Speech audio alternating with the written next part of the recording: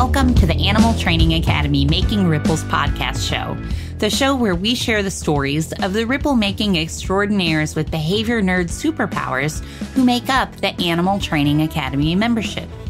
I'm your host and one of the happiness engineers at Animal Training Academy, Shelly Wood from Drop Your Jaws Dog Training in Cape Girardeau, Missouri, in the United States. We're absolutely thrilled and grateful to have you here with us today. Make sure you go ahead and hit that subscribe button so that you don't miss a single episode. This show is brought to you on behalf of the Animal Training Academy membership. So if you like the conversations in these episodes, then we want to invite you to continue them with like minded people in the ATA membership, which you can find out more about at www.atamember.com. Within the membership, you can get access to twice monthly live web classes, the back catalog of previous web class replays, plus a huge library of videos and projects to help you problem solve your training challenges. And we're a sociable bunch with an exclusive private Facebook group and forums area. It's like a Netflix social media platform for animal behavior geeks.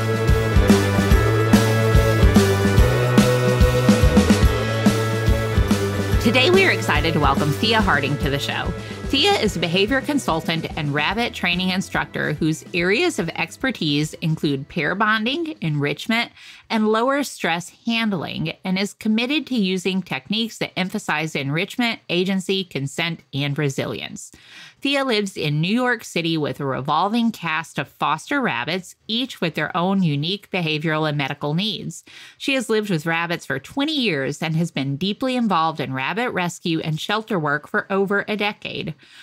Her favorite volunteer activity is facilitating rabbit speed dates, during which a single rabbit is introduced to several other rabbits to see which has the best potential as a partner. If you're having trouble conjuring up what these events look like, just imagine the reality TV show The Bachelor, starring bunnies. Once a rabbit is chosen and goes to their new home, Thea guides their new family through the sometimes lengthy bonding process. The pandemic was a turning point for Thea because she finally had the time to take animal behavior classes she had been eyeing for years. Her favorite classes included IAABC's Fundamentals of Animal Learning and Behavior, Kristina Spaulding's class on stress, and Living and Learning with Animals. Thea jumps at any chance to continue her education and is currently mentoring with Emily Strong in Pet Harmony's Pet Pro program. Thea is an instructor for Tromplo, the online training platform, and teaches a six week course entitled Empowering Your Rabbit Modern Training for Rabbits and the Humans Who Love Them. After years of struggling to find resources about rabbits and applied animal behavior, Thea created the course she has always wanted to take and loves helping her students embark on their own learning journey to improve their rabbits' lives. Welcome, Thea. I'm excited to have you with us today. Oh, thanks for inviting me, Shelly. Yeah, I'm super excited to have you here. We have only, hmm, I, I shouldn't say only, we have not had a lot of people on the show talking about rabbits before. We have had, I know, Emma Almquist on here talking a little bit about bunnies before, but I'm super excited to learn more about rabbits and your work with them. It's not a topic that I know a whole lot about, so I'm definitely excited to learn today.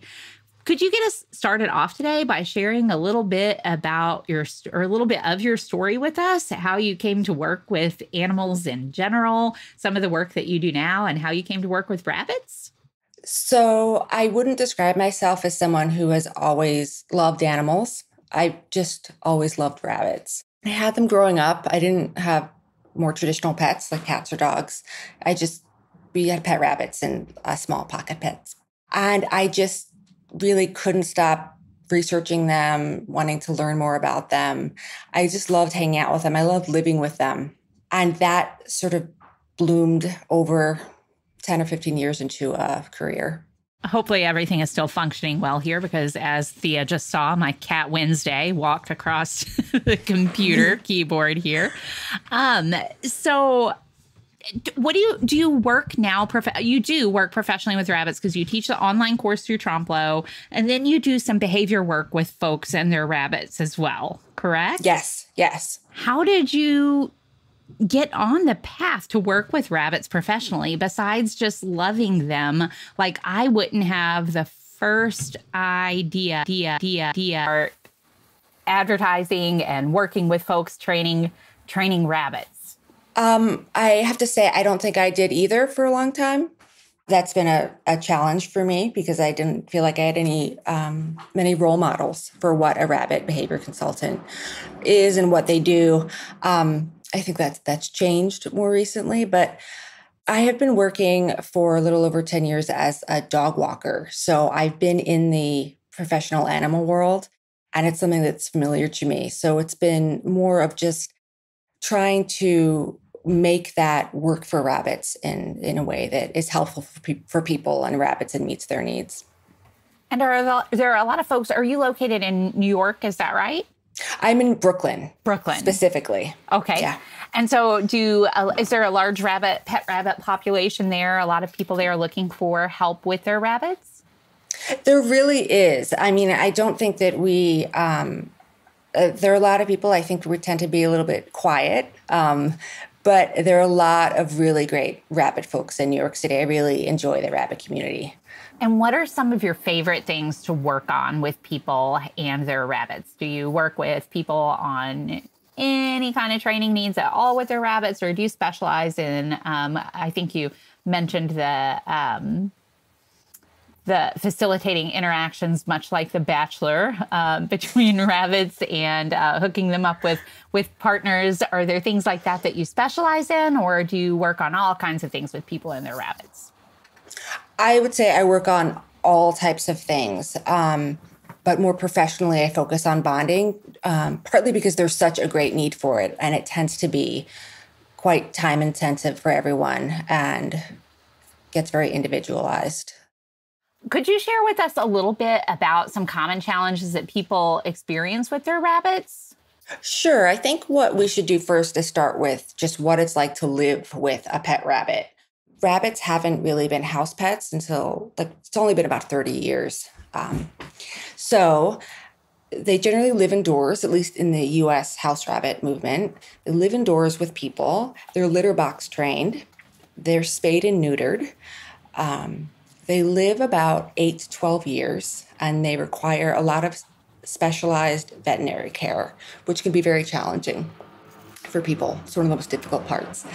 And so people who get uh, really, really into their pet rabbits generally change their home to accommodate the rabbits. So it looks a little funny when you walk in. There's often, you know, I sort of as if the bottom two feet of the apartment are for the rabbits. It's either blocked off and there are toys all over and there and there are rugs, um, tunnels. It's uh I I love I love living with pet rabbits and I think that there's something special about that. I didn't know that that they had only really um, become house pets for about thirty years, or mm-hmm. within the last thirty years. That's really interesting. Um, and I also did not know that they only live to be eight to twelve years old. So I'm learning all kinds of stuff already. What kinds of specialized veterinary care do they require? They are very different from cats and dogs in terms of, for example, their digestion and tend to have run into a lot of problems. They use different medications at different dosages. So you have to find a vet that really specializes in rabbits and has a lot of experience with them. They're very, they're hard to find. Um, and it's not just an exotics vet. It's, it's really even more than that. So we end up traveling, you know, pretty far to get our vet care. And it's really stressful too, because I think we're always worried about our rabbits getting sick and then need to get to the vet really quickly, taking care of them at home. Um, it's definitely a source of anxiety for all of us what kinds of things? So you talked about um, uh, going into people's houses who have rabbits, and that the bottom part of their homes, a lot of times they've kind of revamped things for the rabbits. So there are lots of toys and different things for them. What kinds of environments do rabbits, I guess, in general. I'm sure that there are differences among individuals, as with anything, but in general, what kinds of environments do rabbits sort of thrive in? What types of enrichment opportunities and um, species typical environments do they do well in? I, I love that question. Um, so I would say one really, really important part of their environment is their litter box, which generally it's a giant litter box with uh, like loads and loads of hay piled inside. And they like to hang out in their litter box and graze. And they do that for several hours a day, not all at one time, like intermittently. Um, and that's a really, really important species typical behavior. I think it's foraging, chewing is very important for rabbits. It's in terms of nutrition, very, very important, but also just the behavior of uh, eating hay is really important. Um, and then they um, they also do a lot of chewing in general, so you can give them interesting things to chew. They all have different preferences. Some love things like cardboard. Some love to chew on willow. Some love um, sort of paper like phone books, and then a lot of them really love baseboards, which it's a problem, or couches. Uh, so we really have to direct them towards uh, our, our preferred chewing options. That's one challenge we have. What is it like for a person building a relationship with a rabbit? Is that as easy as it is to do with, say, a dog? Or um, are there different, does it depend on the age of the rabbit, I assume, when you get them and all of those kinds of things? It's interesting when you mention that because throughout most of my life, I had worked mostly with rabbits. I mean, and pet rabbits, and that was a relationship that was very important to me. And um, when I started working with dogs as a dog walker, I was really struck immediately by how different it was um, interacting with a dog and walking with a dog. Um, I would say it is definitely harder to build a relationship with a rabbit. It's it's just a very different vibe. In fact, I wouldn't even necessarily say that it's harder. It's just very different. Um, I remember feeling like making eye contact with the dog. And I, I find that very, very reinforcing. Um, and just, I felt like we were walking together and doing something together.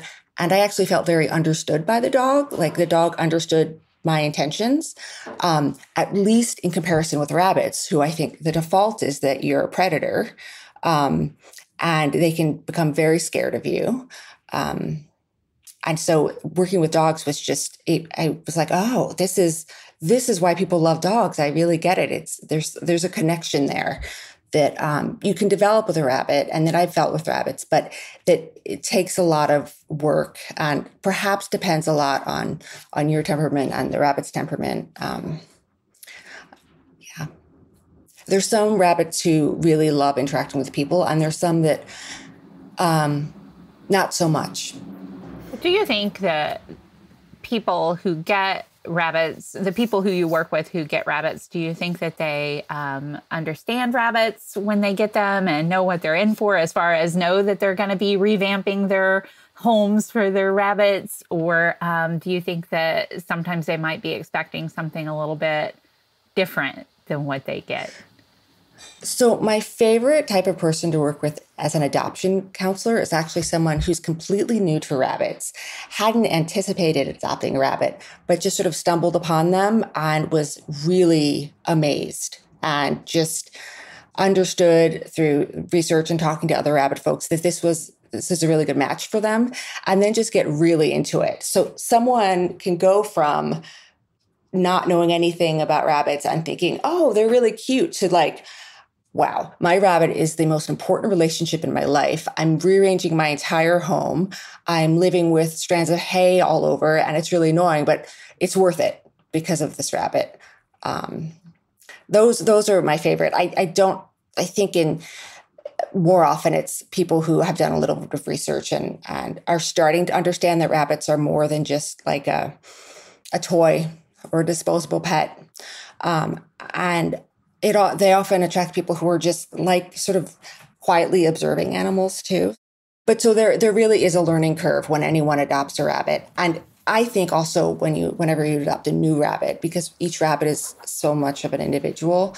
Um, but that's one challenge of having a pet rabbit. The learning curve, especially in terms of medical care, there's so much to learn, and since rabbits hide their symptoms, um, it's a lot. It's a lot of learning, and it takes a lot of initiative and um, a lot of work. I think having relationships with other rabbit folks is very important in terms of support. Did you say that rabbits tend to hide their symptoms? Did I catch that?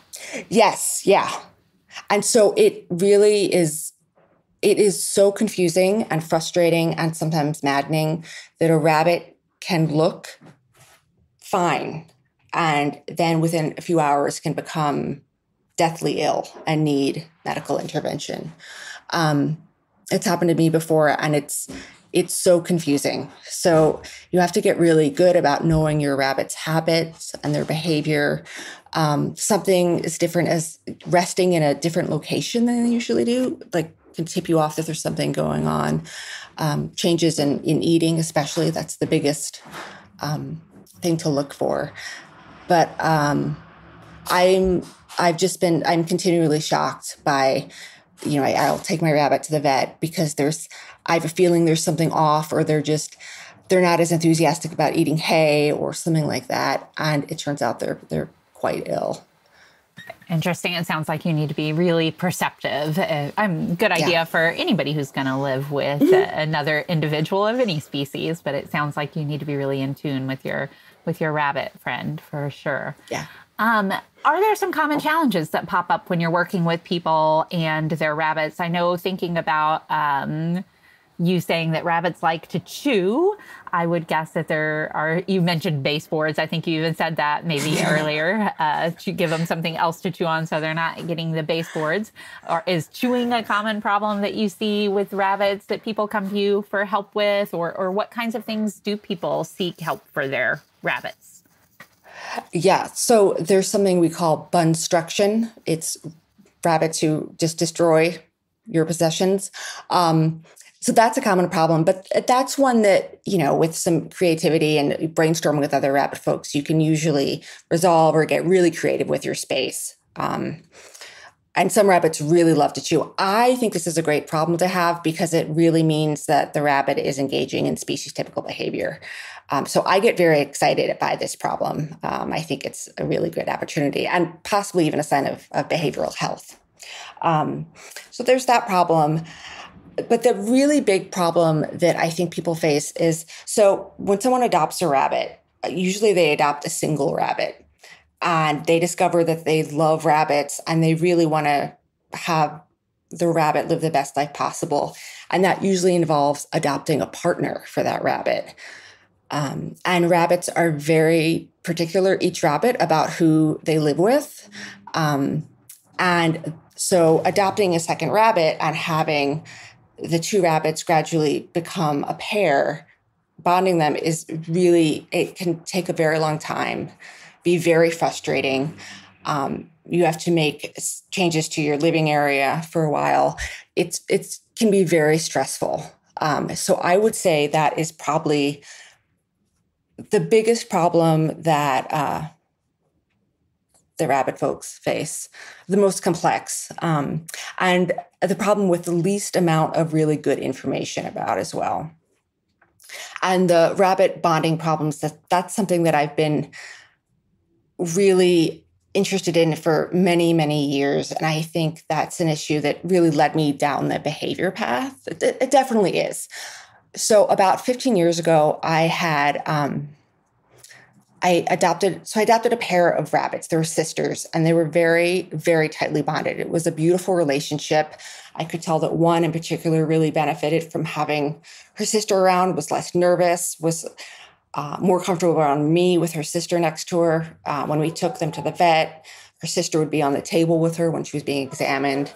She just, they would lounge next to each other and groom each other. And I really thought that it was a wonderful relationship and that they both really benefited from having each other. So then um, their names were Mona and Lulu. And then one night, um, Mona died. It was one of those really frustrating times when she seemed a little off and it turned out to be very ill. Um, but then I was left with Lulu alone, and she wasn't as active. There was it was not she wasn't doing well, so I adopted a partner, and um, it was really hard to I, I, did the whole speed dating thing which was it's really exciting. I think i find speed dating just riveting. Um, so she met she met a few uh, rabbits and had a very strong opinion about one of them. Uh, she did not want to she she hated this rabbit, um, so he was eliminated. And then another rabbit, they just stared at each other from across the bonding area, and it was just sort of they weren't moving.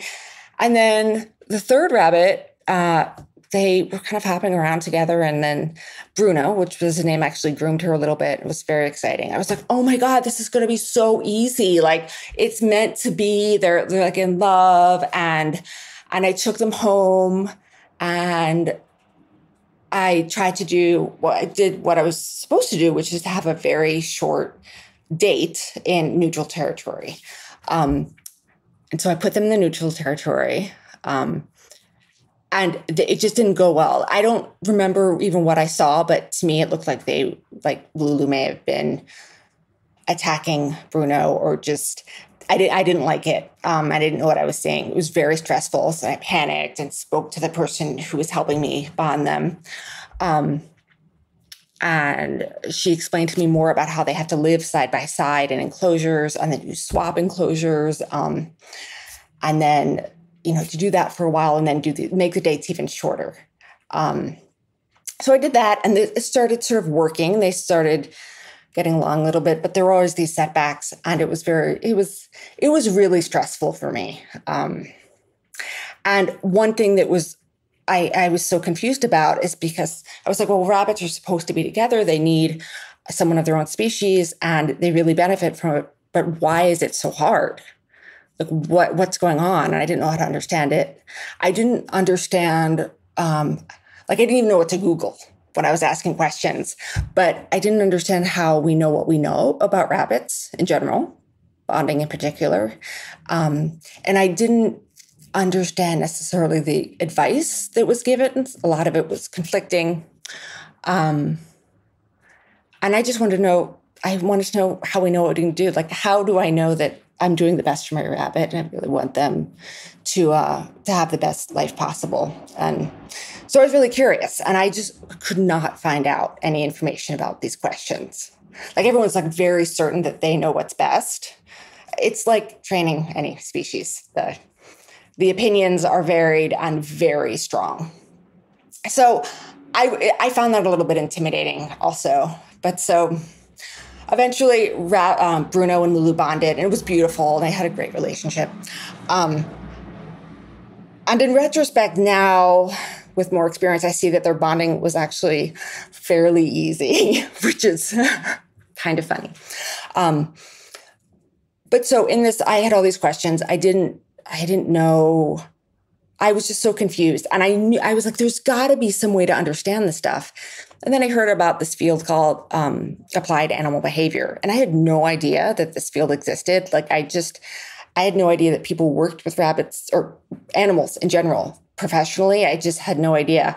And uh, so I I signed up and I audited a graduate class in the in a, um, applied animal behavior, and I loved it. Like it was like this. This is answering all the questions I had, like how you make decisions, um, what factors do you consider, what does behavioral health look like, uh, how do you measure it. Um, so it was really exciting for me um, it was also totally overwhelming. Like there was so much information. None of it was about rabbits specifically, um, yet everything was about rabbits, which was confusing. Um, and then I started having this vocabulary that was different. I didn't know any other rabbit folks that would talk about operant conditioning or classical conditioning, and there were I couldn't find any examples of these things at all. And I just, I just, I, I couldn't I, I, couldn't apply it. And so I was working with dogs and I understood it with dogs. And there was a lot of there were a lot of great behavior resources for dogs at the time. Now it's even better. But I didn't none of it sort of I didn't it didn't translate to rabbits at all for me it sounds like you have a common story with a lot of trainers who I talk to um, who have behavior challenges with their own dogs or uh, rabbits or horses or uh, whatever animal it might be, and that really lights the fire in them to just learn and learn more. So, so that sounded really common to me. Um, uh, however, I do think you are the first person on the show to say, I find speed dating just riveting. Um, is my favorite line. I love it. it really is. I we joke that there needs to be a TV show. Um, and it's the funny thing is about it is it's not like there's not a lot of action. Like if you just like walk by or casually observed, you just like, oh, those rabbits are sitting each other, but sitting just sitting there, but they're doing so much. It's all very subtle. There's a lot of suspense. There's drama. like who's going to get chosen and then something will change and yeah.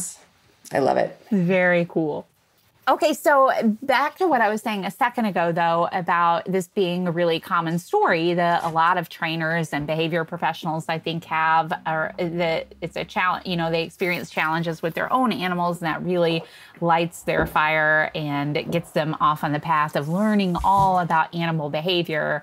Um, it sounds like for you, that path of learning about animal behavior also presented a lot of unique challenges because of the species you were working with. There not being a lot of information out there about rabbits. Um, I wonder if you could share with us a little bit more about those challenges that you experienced at that time and how you worked through them and came to the place where you are now, where you're helping people professionally with their own rabbits?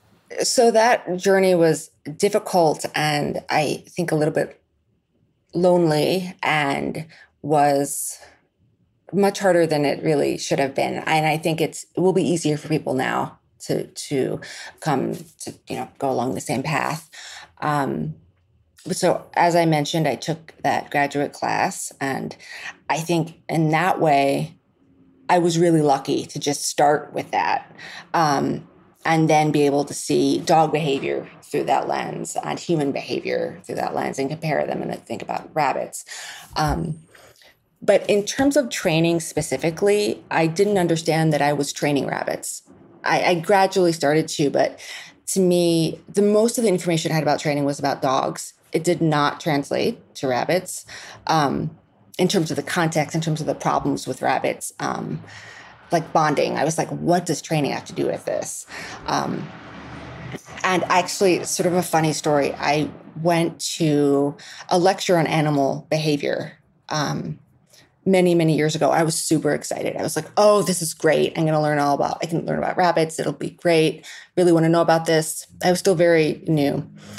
And um, it was about, it turned out about applied behavior analysis, and I hated it. I was so disappointed and I was really crushed. I thought it was really dry and formulaic um, and sort of weirdly obvious. Like, well, it's like, of course, that's what's happening. Um, but the the person doing the lecture did mention this person called um, Susan Friedman. So I looked her up and I was reading her stuff and I was like, this is pretty cool. Like I, I only understood a little bit of it, but what I understood I really liked. So it was great that I got that early because that that's how I started. I didn't I started with sort of Susan Friedman and and the humane hierarchy and understanding that a little bit and slowly grew to understand it more and more. Um, so I was very fortunate for that, even though in other ways it was very difficult. Um, one of the hardest things, though, about learning about ABA in rabbits is that there are no rabbit examples. So, like examples of negative reinforcement for rabbits. I was like, well, what's an example of that? And uh, punishment, I, I still really don't see people punishing their rabbits. I couldn't think of anything about that. And all the, of course, all the discussion about dominance. Um, I, I rabbit folks don't have a lot of that uh, background. Fortunately, that's not uh, an issue, a problem that I've generally had. People don't have beliefs about dominance or look at rabbit behavior. That I don't think anyone expects the rabbits to be obedient. Um, yeah, it's a very different set of challenges. We're not walking our rabbits.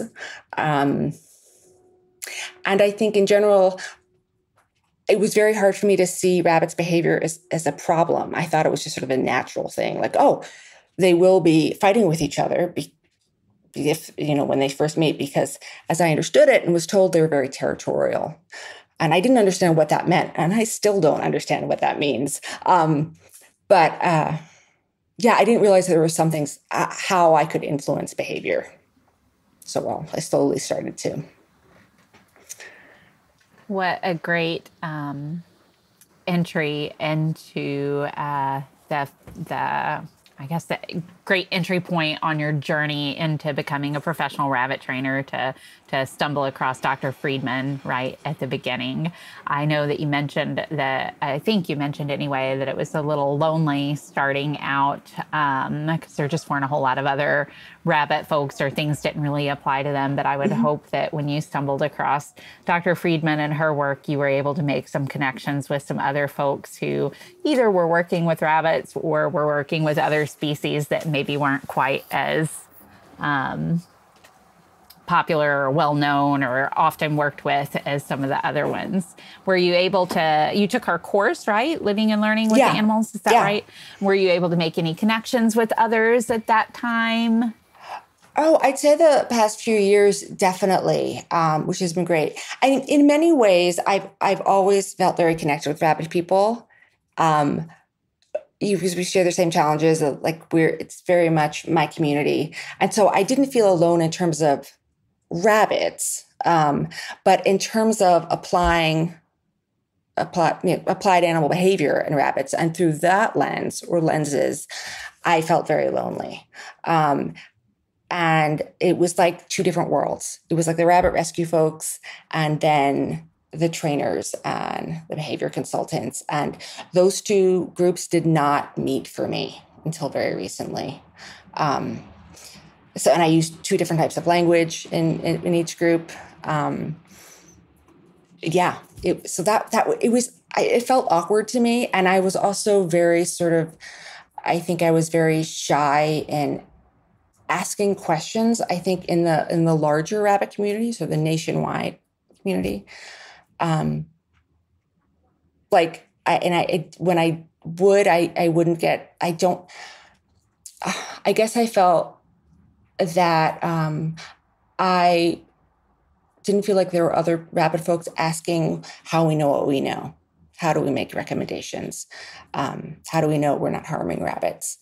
And so that that was a little lonely too. And it was like, why am I the only person asking these questions? Like, and I, I must not have been. There must have been other people but I, I didn't know them at the time. But you do now. Yes, yes.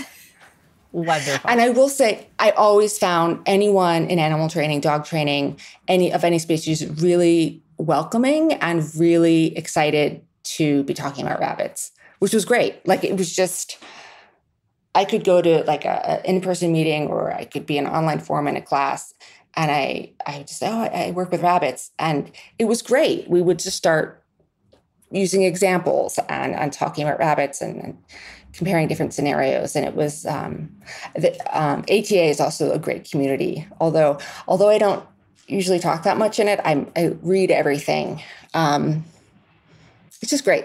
It's so welcoming. It's very supportive. Um, very fortunate in that way.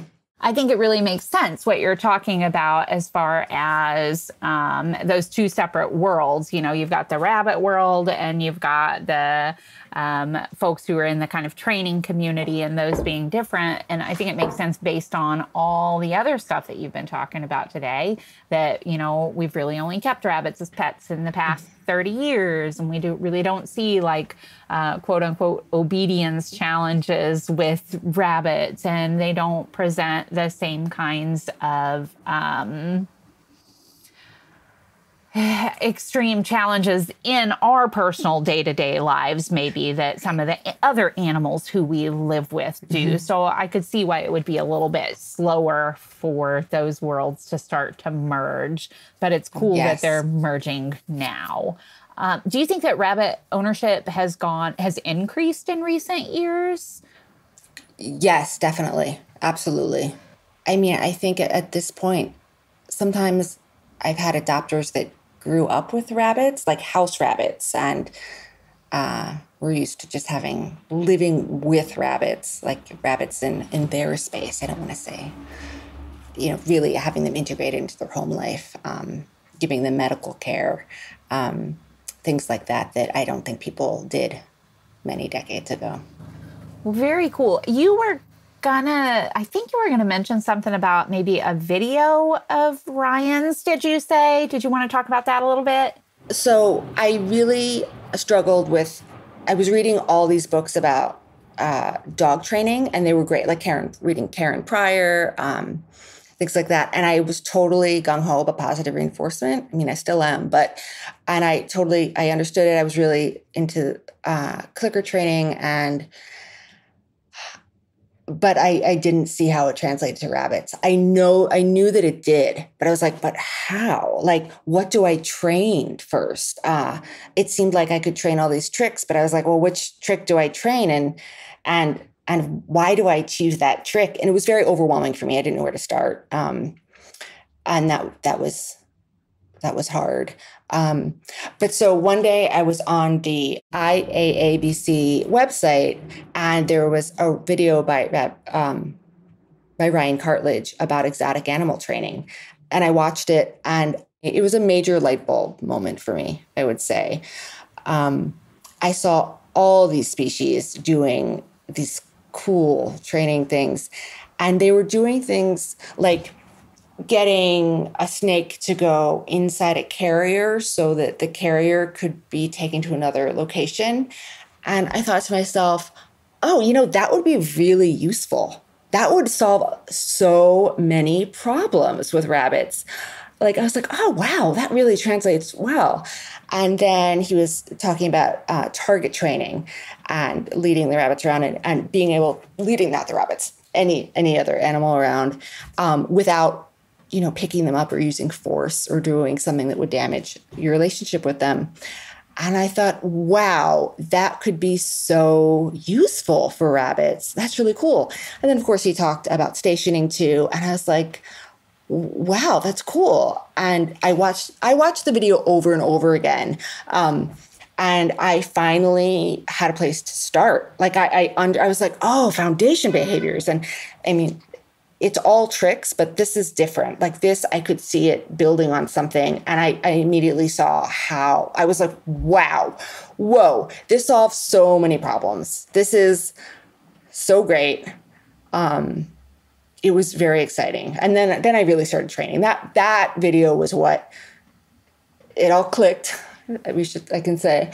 And I, that was a it was a it was a moment that was very exciting for me. That's really cool. I'm glad you were able to find that video and that it um, served as a catalyst for you to really jump in there and start exploring training with your rabbits.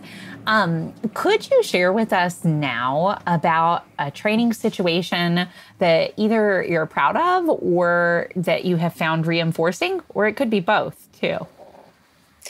So, I'd like to share one with you that's very recent. I'm still really um, really excited about it. It was very simple and easy, and it had this huge payoff. Um, I'm still still thinking about it. Still really excited. So I had this foster rabbit, and her name was Biana, and I brought her home. And she had had had some medical issues with her teeth and had, I think, three surgeries on her mouth.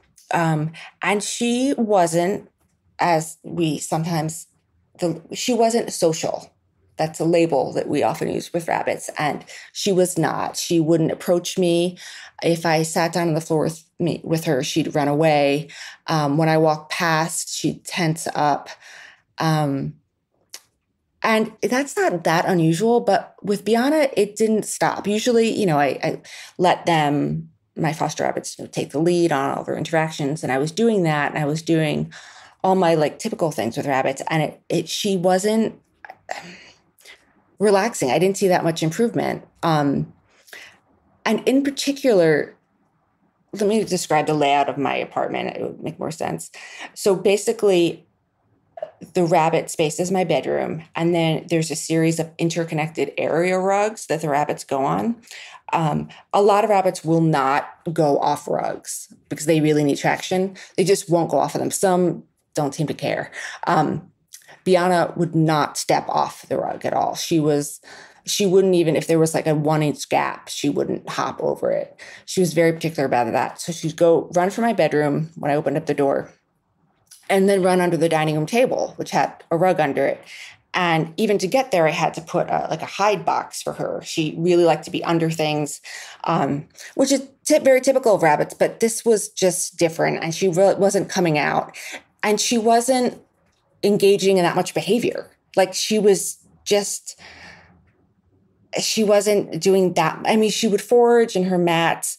Um, she didn't have any front teeth, so she was a bit limited in her species um, typical behavior in terms of picking things up and certain chewing behaviors. But I, I, what I really wanted was her to go from under the dining room table to that rug to the living room rug. Um, because the living room, it's, it's where I do the training, and there's all sorts of fun stuff for rabbits. Like it's, they really like to be under the coffee table, um, and they can hop on the couch, and there are corners that they go in. And there's just like, there's a lot of fun stuff. And the rug is like really plush. Um, and most rabbits go right to it. They're like, "Oh, this is awesome. I really like this area." But she wouldn't. She wouldn't go over this sort of bridge of a rug that I put down. And I tried, you know, putting a cover over it. She wouldn't go down and I tried luring her. And she really liked food. Like she's she would she was she, I could tell she was excited by, you know, little treats. Um, but I couldn't lure her. And then I even tried giving you know, treats reinforcing her just moving across by giving a treat behind her um, and I was, I was just, conf- I was like, I really want you to go into this other area because we'll be able to do so much more. Your life will be fuller if you can do this. Um, and she just wouldn't do it. And I was frustrated because I really needed to start working with handling with her and getting her used to that. Um, and so one day, um, I I got a new rug, and I, I brought it home, and it was fairly large rug and i laid it down and then i i went into the living room not really thinking i just put down the rug and i was sitting on the couch and then from the corner of my eye i saw biana hopping over into the living room and like really tentatively and then rushing back into the dining room and then hopping over again and i just sat there was like wow what was it is it the rug? But she was barely touching that new rug. Um, and it was really beautiful having her in the living room. She started doing these binkies, which are these sort of like, hap- they're like rabbit zoomies. And she was exploring. And over the next few days, I was sitting on the floor with her and she'd run over and start initiating contact with me. And we started training, and it was everything I wanted. But I, looking back on it, which I think is really interesting and reinforcing for me is I just made one change. I just put down another rug. Um, and I'm really struck about how that sort of antecedent arrangement really set the stage for this, for improving her life and, and her skills and her comfort with me and our relationship. I was just one change. Um, in addition to that, she didn't even use the rug really. It wasn't even, it was just there. And I there's something about that having the rug, perhaps because she she had more space to get away from me and that made her feel more secure. I think there are a lot of reasons why it helped. But I think that's such a great I, example of antecedent arrangement and how it has big payoffs and it can be, it's just way easier. Like it was just so easy. What a great story. And yeah, a great example of just making one small change uh, to end up getting a big change and such a beneficial change for Biana and for you as well. Because I know it was something mm-hmm. that you really wanted. So uh, it makes me happy for both of you. It makes me think of um, something, speaking of Ryan Cartlidge again, who you mentioned the video from, I think mm-hmm. earlier. Um, it makes me think of something that I used to hear hear him say quite a bit, um, and I'm sure I'll get it wrong. But if you could change just one thing, no matter small how small it could be, would be, what would that one thing be? You know, and mm-hmm. also thinking of that common saying, uh, "Small hinges swing big doors." Uh, just Oh, I love that. Yeah, I think I've oh. heard, I think I've heard him say that before too, but I think that that might be wider as well, but I'm not sure. I'm not sure he might get yeah. all the credit for it. I don't know. Uh, but, but it's a good one. And that's what your story reminds me of, you know, that sometimes we can just make one small change and get these big beneficial results. So, yeah. I will say that I, I, all rabbits really benefit from rugs. And I think it's one of the most important parts of their setup. Um, and it's a change that I almost always recommend. Like, add more rugs, just give them more space and more hiding places and, and things like that. It helps all rabbits. But this particular rabbit, this individual benefited so much from it. It was, it really shows, I think, you know, the differences in species level and then an individual level and looking at them individually. I don't think it would have had as much of a payoff on a, on a different rabbit. And you said that she already had a whole, or not she, but in the apartment or the house, there were already a whole bunch of rugs, right? But it was something yeah, about yeah. the addition of this one. And the rug didn't have anything covering it. It was totally unsheltered out in the open. It was just so, it's, I, I'm just, wow, still thinking about it. And when when did that happen? Just a, a couple months ago. That's great. And so she's hanging out in the um, rabbit zen room on the regular now in the living room there. She has actually moved on to a different foster home. Okay. Um, she didn't. She doesn't need as much behavioral support as she used to. Um, very exciting. She's still herself. Like she's still a rabbit. You can't just reach out and pet her, which is totally understandable and that's fine. Um, still working towards that, but now there's a place to start. That's great. Yeah. Um, and so you do, let's, we're gonna, we're getting close to the end of time here, but um, would you like to share at all about any of the rabbit rescue work that you do? That made me think of that when you said she's moved on to a different foster home. Do you open your home to rabbits to foster them regularly? Do you do provide behavioral support for the rescue? How are you involved with the um, rescue? So I have a few different roles. One is with speed dating, which I do both for a rescue called Bunnies and Beyond and for my uh, local shelter. It's the Animal Care Centers in Brooklyn. So I also I answer a lot of behavior questions or if there's a rabbit it's just if someone's having a, problem with a rabbit. It's often bonding or handling or recently um, there was a little bit of biting or just really chewing on the apartment in a, really excessive way. So things like that, that sort of troubleshooting. Very cool. Well, thank you for the work that you do for the bunnies who are in rescue and the people who are in rescue supporting them as well. Thea, thank you for sharing everything that you have shared with us so far today. We are just about at the end of our time now, but before we wrap up, I did want to give you a little bit of a chance to share about um, opportunities that people have to learn from you. I know that you have a course or maybe even multiple courses, but at least one that you teach regularly for Tromplo. Um, if you could maybe share a little bit about that course with us, how folks could sign up for it, and when you're going to be offering that. So the Tromplo class um, is six weeks. It's online, um, and you can find out more if you go to tromplo.com. Um, you can get a description of it. But I sort of think of it as a survey class with a practical element where you can practice training. Um, I also basically it's structured to teach people about something that I call the, a welfare-based frame framework for rabbit bonding. Um, so it all leads up to that and presenting that as a framework, a very practical framework that people can use if they're giving advice about rabbit behavior or um, or have their own rabbits they're trying to bond. Um, but it's also each unit is applicable to everyone with rabbits. So even if you aren't especially interested in bonding, or at least right now, um, it's still, I think, worthwhile to take. And would it be a good course for both rabbit owners and people who are either rabbit trainers or aspiring rabbit trainers to take? I think it's a great class for uh, rabbit owners, for rabbit rescuers, for shelter workers, and also for other behavior consultants. And do you know, um, I'm not in entirely sure when this episode will be released off the top of my head, but do you know when the course is going to be available in the future? Um, so I'm teaching it. The next class will be in December. Perfect. I'm confident this will be released before December. And so hopefully somebody listening will be interested in your course and can hop on over to Tromplo to get signed up for that. Great. Thank you. You're welcome. And if somebody wanted to work with you one on one, an individual, or if a rescue had questions for you, or if somebody listening just wanted to get in touch with you, how could they do that? So they can do two things. They can go to my Instagram, which is Badass Bunny Rescuer. They can also go to my website, which is badassbunnyrescuer.com. That is a badass name.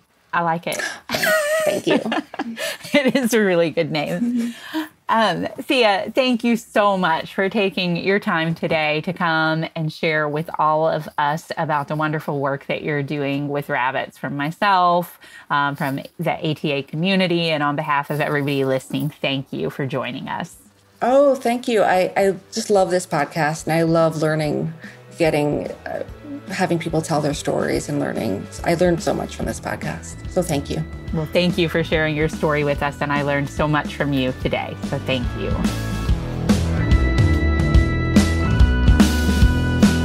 We do, of course, appreciate all of you tuning in as well. And if you have enjoyed this episode and are interested in carrying on the conversation about working with the animals in our lives in the most positive, most fun, and most choice rich ways, then, as mentioned at the start of this episode, the Animal Training Academy community is waiting for you. Head on over to www.atamember.com and click on the membership button in the main menu to learn more about what members are describing as the Netflix social media platform for behavior geeks. That's it for this episode, though. Thank you so much for listening. You'll hear from us again soon.